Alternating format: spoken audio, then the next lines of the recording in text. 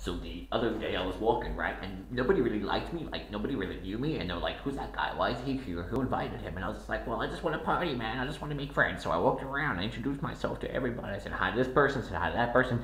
Everybody reacted the same way to me. They just like, you know, like I done something, you know, like like they knew me from a, whether it be a past life or whether it be just from some situation in the past, and I I couldn't remember just as much as most people can remember things in the past lives, you know. But these people knew something, at least thought they knew something, and they were, they were wary of me. They didn't really want to connect. They didn't really want to talk. And I was just like, what's going on, man? I just want to have fun. I just want to connect.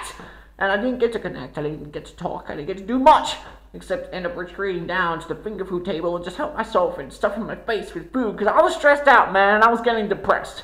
You know, you go to a party well dressed and you just want to impress, have a good time, and everybody else is just obsessed with each other, totally ignoring your ass. You know what I'm saying? And it upset me. It made me upset. So I, I get, you know, I ate some of the food. I ate a lot of food, and then a couple of people talked to me just to tell me just to leave some food for everyone else. So that was nice. At least I know for next time there's a strategy to get people to talk to you. You know, just gonna hit the food really hard. You know what I'm saying? But you know, besides that, there wasn't really much else. So I decided to leave the party because obviously it wasn't going down well for me.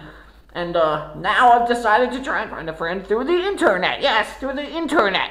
Because there's so many kinds of people out there on the internet, so many kinds of people in the world, right? And the internet, it helps bridge the gaps between all the people in their isolation and weirdness. So if there's anyone out there that would like to talk uh, to me, I'm, I'm really a normal guy. I'm stable ass, and uh, you know, I just like to have some conversation. All right. So if, if, if you'd like to talk, with me, um, you know, send us send us a message or a video or something. It'll be really, really, really appreciated because life is a party, right? And we're just here to dance, alright? We're just here to talk and have a good time. I want to have a good time with you. If you want to have a good time with me, you know what to do.